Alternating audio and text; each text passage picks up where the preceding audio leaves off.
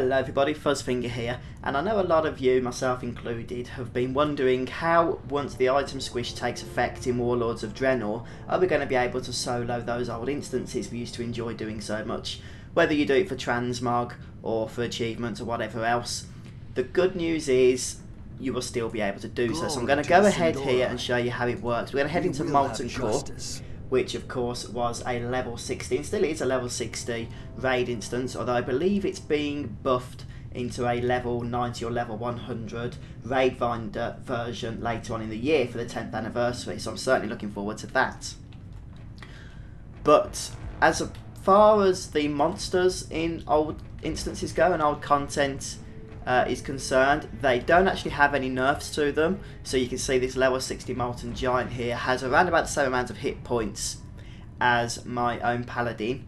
And whether their damage is nerfed or not, I'm not sure. But one thing you will notice is that your character is going to do a lot more damage than usual. I've got no buffs or anything showing me this, so I'm guessing that will be put in before the expansion launches. But if I go up here and Judgment this Molten Core, uh, sorry, this Molten Giant, you can see, not even with any crits, I'm getting like 400k damage. And that's with the item squish.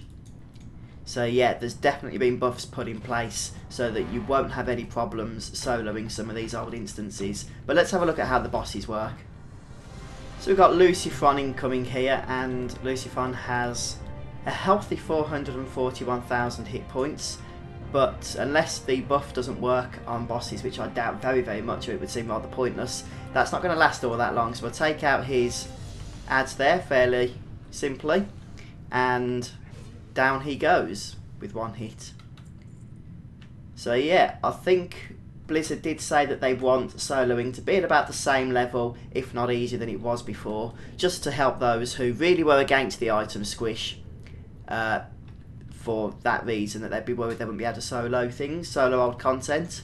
But yeah, as you can see, that really isn't going to be a concern you need to have at all. Magmadar, no problems. Obviously, I don't need to loot any of that rubbish. So just heading up to Gehennas now. And one thing I like about the way they've done this is that if you were against the item squish because you like to see those big numbers, then at least you can come back to older instances and yeah, see massive damage numbers even bigger than before. It is a bit annoying that it works behind the scene. I would like to know exactly what this buff is doing for me. Is it increasing my defences as well? I mean, there's no difference here in my character stats. These all look pretty normal to me, so it'd be interesting to see exactly what it does. Like I say, I reckon that will go live with the expansion.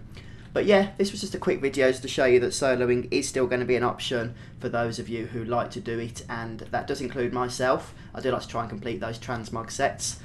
So please do join me next time as we continue on with the Warlords of Draenor beta. Until then, take care, see you soon.